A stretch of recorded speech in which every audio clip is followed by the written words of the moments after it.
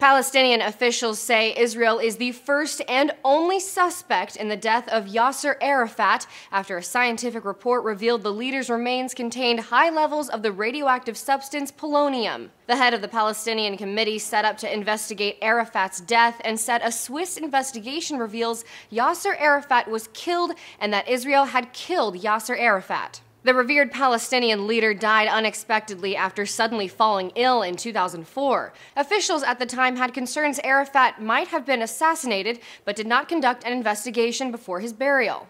But last year, his body was exhumed after tests of his belongings indicated he might have been poisoned.